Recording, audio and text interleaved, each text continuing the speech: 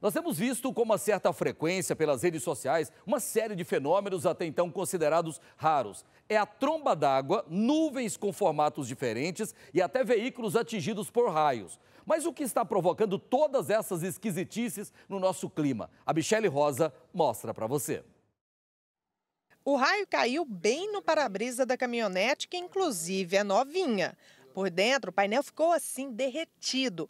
O teto e os bancos também ficaram queimados. O caso aconteceu na BR-020, entre Simolândia e Posse, cidade do interior de Goiás. O motorista da caminhonete contou que chovia no momento em que o raio atingiu o veículo. Na hora, ele parou o carro, sentiu o cheiro forte da fumaça e foi aí que decidiu sair do veículo. Por sorte, ele escapou ileso do acidente. BR-020, o raio atingiu a antena por conta do fogo aqui, estourou o para-brisa, né? Aí atingiu a antena da caminhonete ali.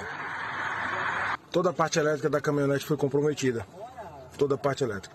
Um caso parecido, mas muito mais trágico, aconteceu em novembro do ano passado. Márcia Pires Santana, de 46 anos, estava na garupa de uma moto na GO 164 e foi atingida por um raio.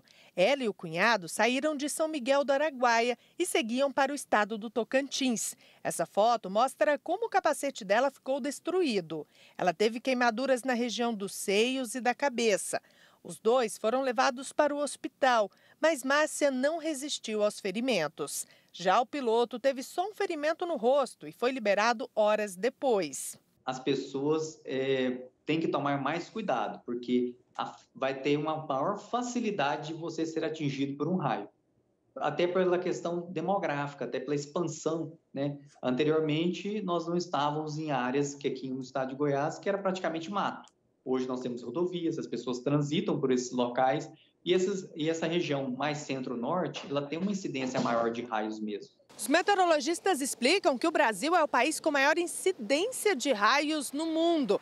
Acontece que de uns tempos para cá, a população tem aumentado cada vez mais, o que aumenta as chances de alguém estar no lugar errado, na hora errada, infelizmente ser vítima de uma fatalidade, como a Márcia. Para piorar, os especialistas alertam que as atuais condições climáticas influenciam cada vez mais a formação de fenômenos curiosos da natureza, como essa nuvem imensa que se formou em Mineiros, região sudoeste de Goiás, na semana passada.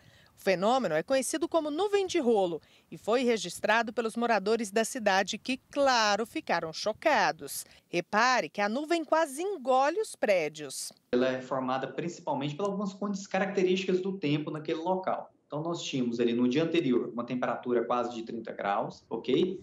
E no, no dia que aconteceu, pela manhã, nós tínhamos umidade ali disponível, porque tinha um sistema que tinha subido, uma frente fria, estava lá no oceano, mas ela conseguiu organizar muita umidade ali.